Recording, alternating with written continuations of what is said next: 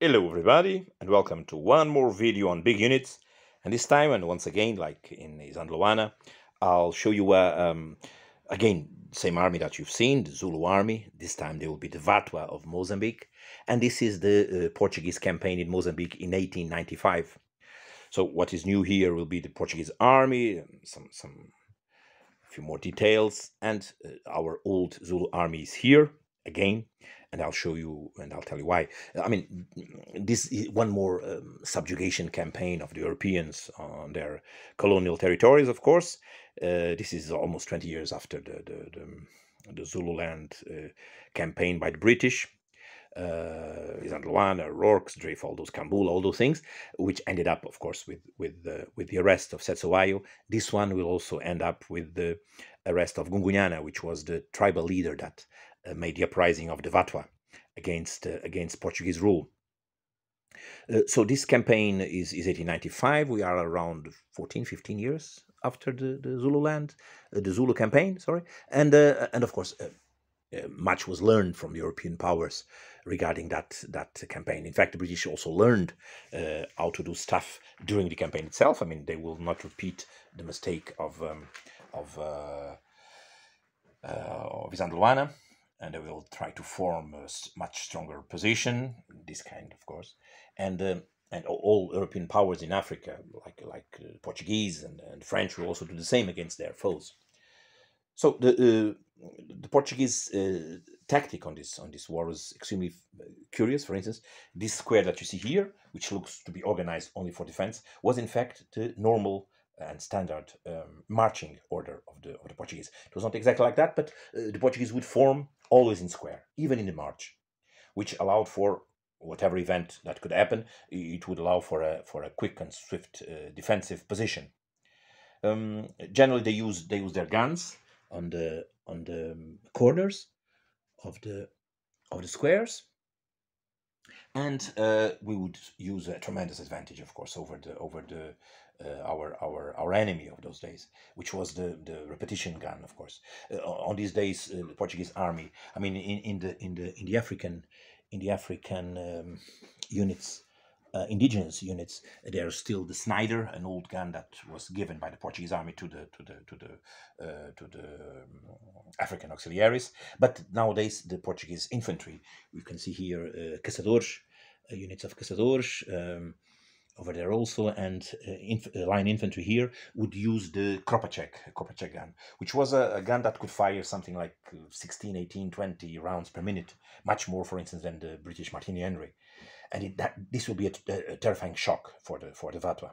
Vatua would also, as the Zulu, would also use, of course, um, weapons, but he would would use like the Zulu much older weapons, of course, um, and they're not that good uh, using them. Of course, They're not particular good training on them, so this will be a big shock.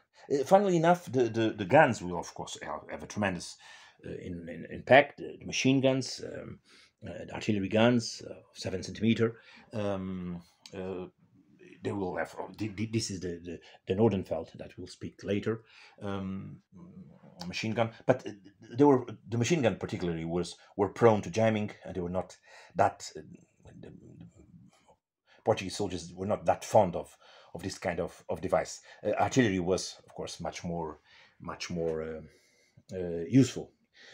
It was much less prone to jamming of course. Uh, there's also some, some cavalry that we'll speak later. And um, regarding the, the Vatua, they were in fact they were Zulu affiliated. That's why you see here the famous um, the famous uh, chest and horn um, formation of the uh, of Zulu influence. Um, and this is uh, this is the tactics that they will try always to use. They will try to come as quickly as they could to towards the Portuguese, and will try to, to, to break the, the square. They managed, in fact, to do it in in in Marracuene, in one of the battles. There are three major events on this on this campaign. It's the Battle of Marracuene, of of um, of Magul and Coolela. Uh, three big battles in which the Portuguese will use the, the, the square as defensive as a defensive um, uh, tactics against against the Vatua. Um, so this is a little bit the environment of the of the campaign. Uh, this is uh, all along the year, virtually from February to, to, to November of, of 1895. It be a very long campaign in a very in a very harsh terrain, uh, with plenty of sick people, of course, due to the African diseases, um, and um, it will not be that costly in terms of men for the Portuguese. For instance, it will be much less costly uh, in relation to the Portuguese than it was for the British in in in, in the Zulu territory. Uh, and I mean, probably due to the to the to the weapons that Portuguese use.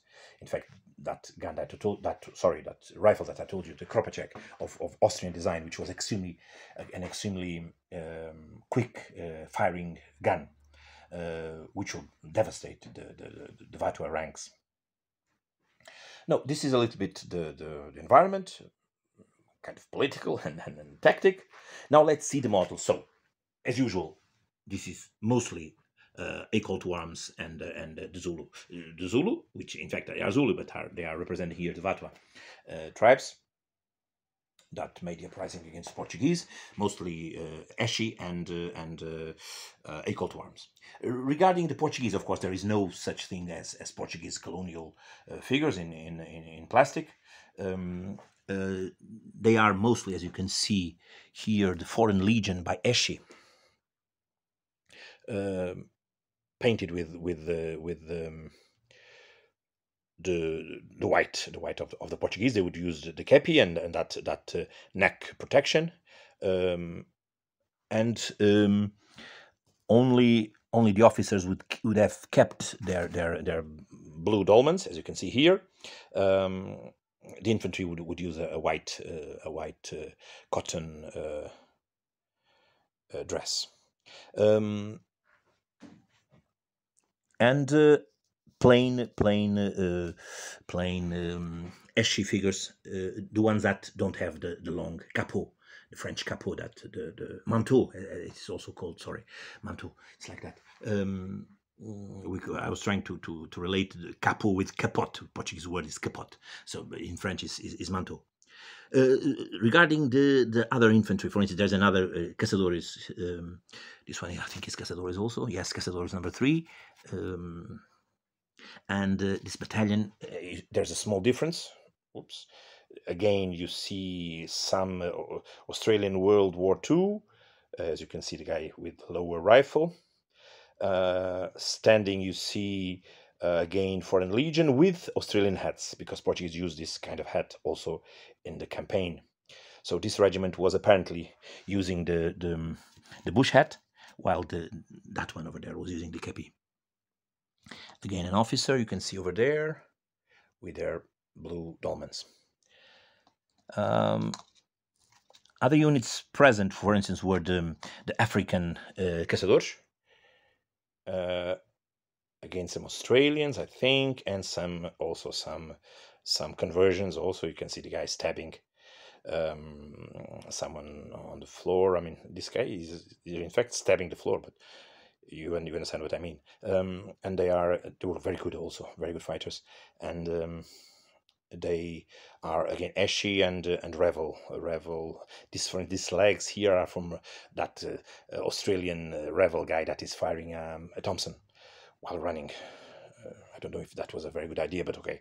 Uh, he, here is, is is charging with his Snider uh, gun, weapon, rifle. Sorry. Uh, more of the same over there. That is an infantry regiment. Uh, infantry regiment, let me see. Uh, number two, we say Segundo Regimento de Infantaria. more more caçadores over there. And here is a very famous unit also. The, as you can see, the Lourenço Marques police. Lourenço Marques was the capital uh, of Mozambique, and um, here you see uh, the police of Lourenço Marques. In fact, it was considered best best military unit of the, of the entire campaign. Uh, you see here, of course, um, Esci British, and also some the officer is, is, a conversion as you can see the guy is is, is, is charging uh, again I, I think uh, yeah most probably Revell, Revell, World War II Australian. So this is it for the infantry. Now for the artillery, all the artillery is, is, is converted. You see here the the seven centimeter uh, gun, mountain gun that Portuguese had. Let me show you just, for instance, a good a good um, good image of it is this one. It was taken from the uh, Lisbon uh, Military Museum. In fact, I, I use these books. I use this kind of not these books. I use this kind of for, for many campaigns. I always like to take notes. For instance, this is this is the organization of, of the British, uh, of the British, sorry, of the Portuguese. I'm speaking English, sorry. That's why probably the British word came. Um, so this is the organization of, of the Portuguese, several several regiments, uh, the number of, of, of men in each company, and then the wargaming uh, related one to ten um, forces. Uh, there is a very nice movie, a very old, I think from around 1930s, 1940s, which is Chaimite. Chaimite is in fact the last last piece of action as the British captured captured um, in Ulundi, at Ulundi, we will capture Gungunhana uh, at Chaimite. It is the campaign that captured the, the, the, the Vatua leader. Uh, and so the movie has this name, Chaimite. Um, and I took a lot of notes from, from the black and white uh, uh movie because there is some some some interesting information okay? Um, this is the the idea. Uh, I, I do this kind of stuff for all my periods even using movies and cinema. So when the, let's get back to the to the to the gun itself. Everything is converted as you can see from plenty of origins. I mean i think even these these wheels are from Revell 30 years war think so, yeah. And then the, the gun, I mean, the tube itself, I mean, I have no idea from where it came. And uh, some the some plastic pieces in, in order to make the, the, this contraption. The figures, the figures are the PSC Germans, World War II PSC Germans with new heads, of course. And they are serving the the seven centimeter mountain gun. Uh, uh, regarding the uh, Nordenfeld, let's see the Nordenfeld here. Nordenfeld is again completely scratch built. Plastic tubes, small ones. Everything is again converted. Figures are again PSC, and there is a British that guy that is carrying a, hammer box converted to a to a Portuguese guy with a with a kepi and a neck protection so this is it. For the there are two of each two two guns and two machine guns. The the i mean in order to tow the the, the machine gun you have you have a mule here being pulled by a by a, a completely converted Esci figure. And the same for the for the guns which were heavier so they were pulled by horses or mules. Uh, and this is of course very very it's very it's a pleasure to make this kind of stuff because you, you have very old pictures and then you use i mean whatever you have as information in order to make this thing. But it's fairly fairly fairly okay. I'll show you images of that thing soon. You'll see that it's more or less more or less okay. Um,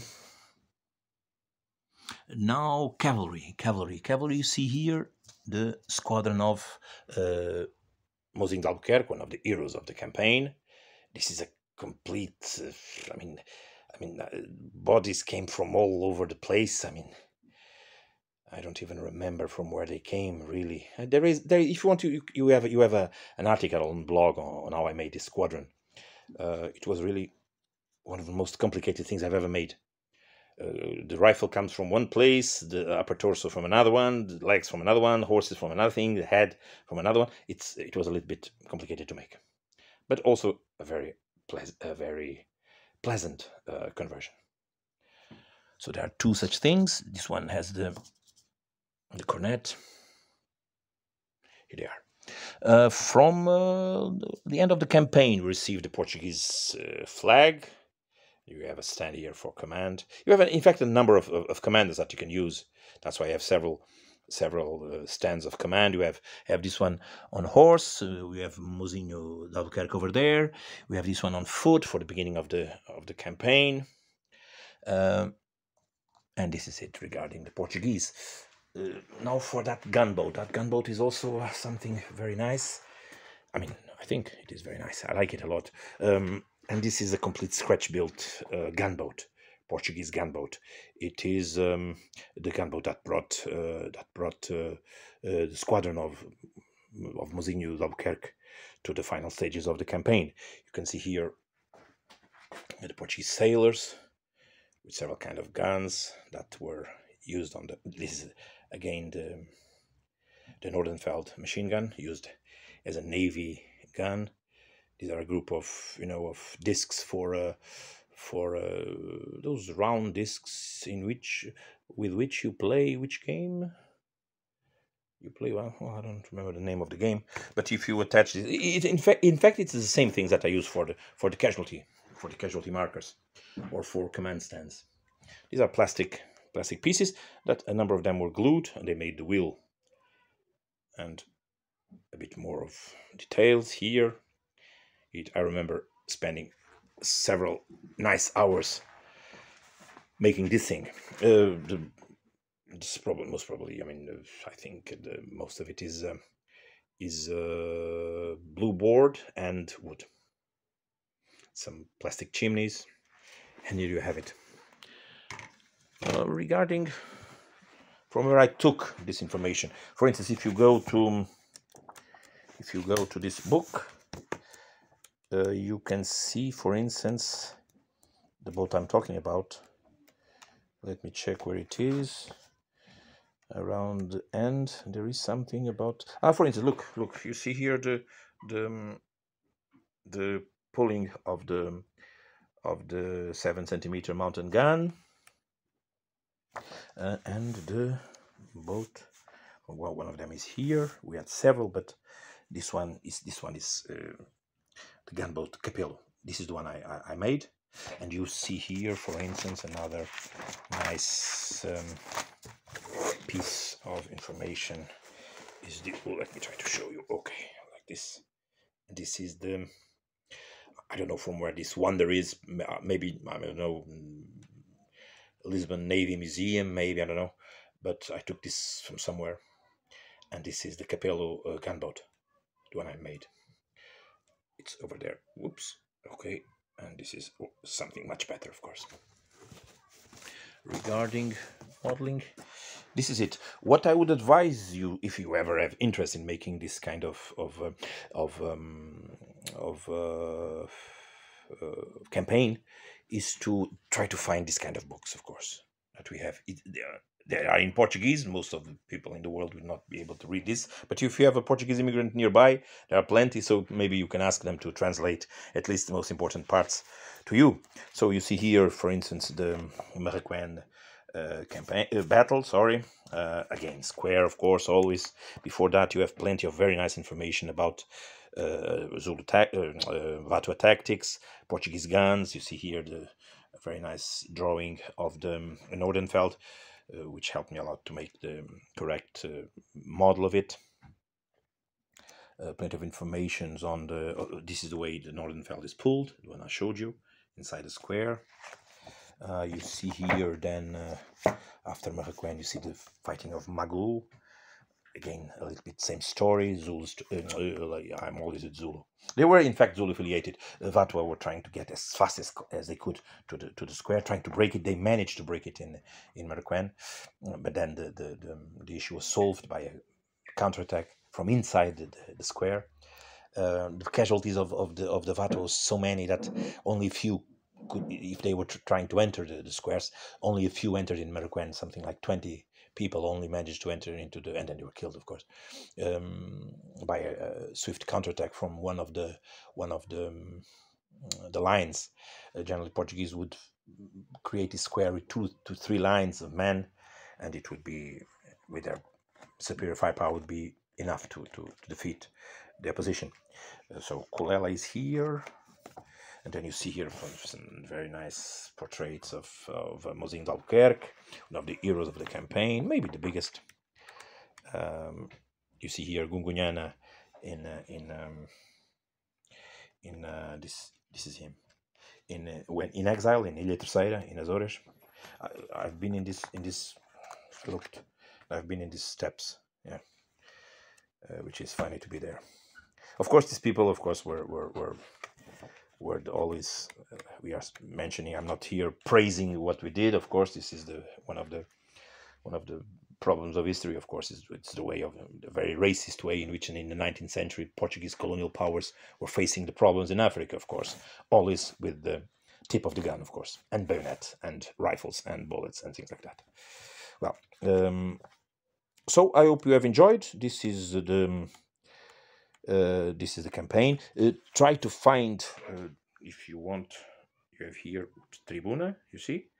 Uh, sometimes, if you come to Portugal, you maybe you can find some leftovers of these collections. It's a very nice collection from from Middle Ages up to to, to colonial war in the 20th century up to 1974 you'll find plenty of portuguese actions in those in this collection which is quite big um, and maybe it it it helps you to to, to if you want ever of course to war games such a such a thing so i i hope you have enjoyed one more video and see you next and i think next time there will i'll start i'll start to show you which will be a little bit uh, time consuming at least to place stuff on the table i'll try to show you the my iraqi armies and they are very big. Uh, the ones from 1991, I mean, up to 2003, of course. Um, see you soon. Bye bye. Cheers.